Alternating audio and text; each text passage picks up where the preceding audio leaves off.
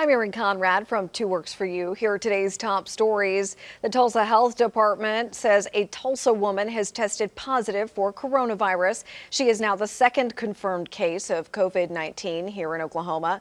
Those test results came back from the Oklahoma State Department of Health's laboratory.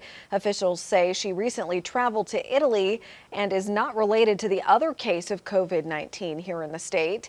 The Oklahoma State Department of Health says 10 cases are under investigation and those results results are currently pending. And Life Church pastor Craig Groeschel and pastor Bobby Gruenewald are still under self-quarantine, but the two are expected to finish their quarantine sometime this week. The two decided to quarantine themselves after traveling to Germany for a conference two weeks ago where someone tested positive for the coronavirus. Organizers ended that conference early as a precaution. Both of the pastors say they are still healthy and feel okay. And the CDC is warning colleges and universities to hold off on study abroad trips right now. Schools including Loyola Chicago, State University of New York, and the University of Oklahoma have all brought students back early from overseas. The New York and Chicago students are all currently under quarantine. And let's get a check of the forecast with meteorologist Kerrigan Chauvin.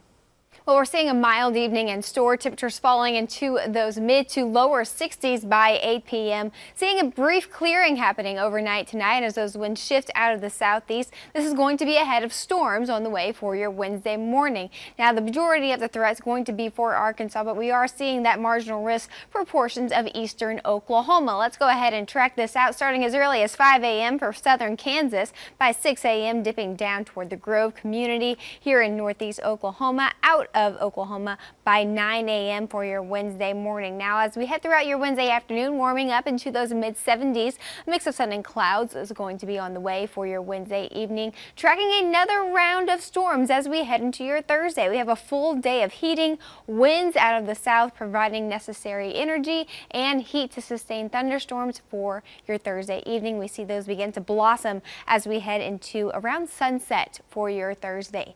Let's go ahead and take a look at your 10 day forecast. Check out this warm up on the way upper 70s for Thursday afternoon before a cold front passes through, dropping us back into those 50s as we head into your soggy weekend ahead.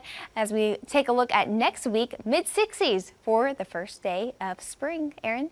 Thanks, Kerrigan. That was a look at our digital update. Keep checking back for updates all throughout the day. I'm Erin Conrad. Two Works for You.